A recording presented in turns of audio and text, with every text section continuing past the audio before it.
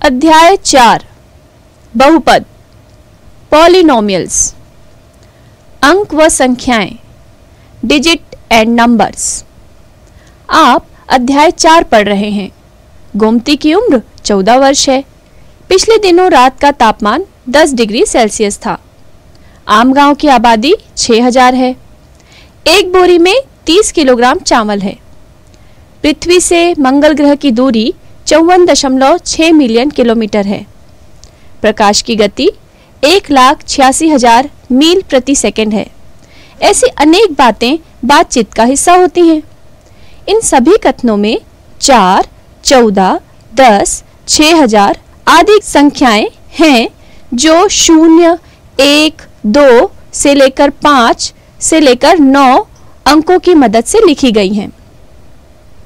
इन्हें अन्य प्रकार के संख्या संकेतों, जैसे रोमन में वन, टू से लेकर नाइन, टेन और आगे भी, की मदद से या किसी और संख्या पद्धति में भी लिखा जा सकता है।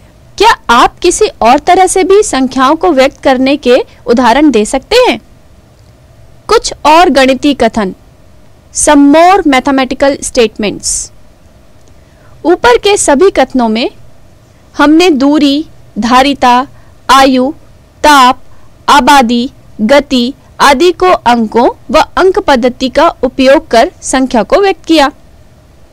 हम कुछ और तरह के कथनों का भी उपयोग करते हैं, जैसे, किसी वर्ग की भुजा ए है तो उसका परिमाप 4a होगा। एक आयत की लंबाई एल और चौड़ाई बी है, इसका क्षेत्रफल व परिमाप पता करो। पिता की आयु पुत्र की आयु के दुगुने से छह वर्ष अधिक है। इस कथन को x बराबर दो वाई धन छ लिखते हैं। मूलधन ब्याज आदि के बीच संबंध साधारण ब्याज बराबर मूलधन गुणित दर गुणित समय बटे सौ। दो रेखाएँ एक दूसरे से थीटा कोण बनाती हैं। इन सभी उदाहरणों में a, l, b, x, y मूलधन, दर, समय, थीटा आदि भी किसी न किसी संख्या को प्रदर्शित करते हैं।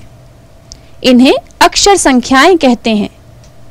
क्या ऊपर बताई गई दोनों प्रकार की संख्याओं, अंकों में लिखी व अक्षर संख्याओं में, व्यक्त संख्याओं में कोई फ़र्क दिखाई पड़ता है?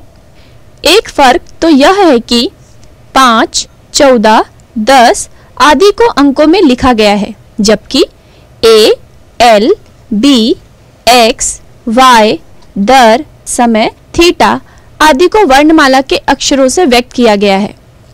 दूसरा अंतर यह है कि पहले प्रकार की प्रत्येक संख्या का एक निश्चित मान है, जबकि अक्षर संख्या के मान अलग-अलग संदर्भों में अलग-अलग हो सकते हैं। क्या कोई बात इनमें समान भी है? सोचिए, आप कहां-कहां अक्षर संख्याओं का उपयोग करते हैं?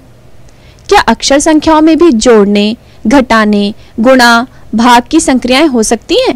बीजी व्यंजक और उनके पद algebraic expression and their terms पिछली कक्षाओं में संख्याओं के कई उदाहरण आपने देखे होंगे, जिनमें अक्षर संख्याएँ उपयोग में आई, जैसे चार ए, वर्गमूल तीन ए वर्ग बटे चार, ए धन बी धन सी, चार बटे तीन, पाई आर की घात तीन।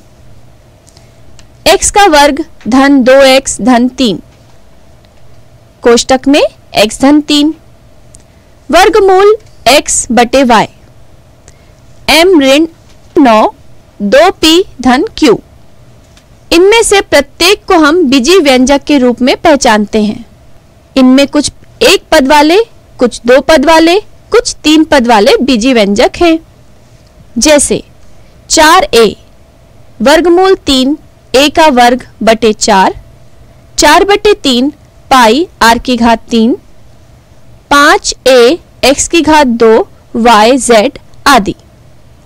एक पद वाले बीजी व्यंजक हैं। कोष्टक में x धन तीन m ऋण नौ, दो पी धन q दो पद वाले बीजी व्यंजक हैं।